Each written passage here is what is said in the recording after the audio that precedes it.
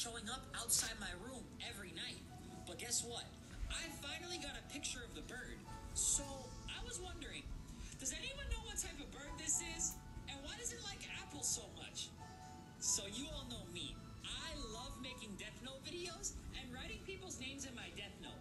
But ever since I wrote my first name in the Death Note, this weird bird keeps